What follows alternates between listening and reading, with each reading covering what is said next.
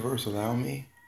Did the universe allow me to change and revolutionize education globally?